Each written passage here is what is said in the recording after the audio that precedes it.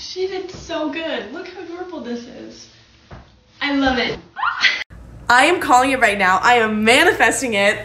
Our treat yourself like someone you love hoodie is going to be the hoodie. Set your alarm for May 13th.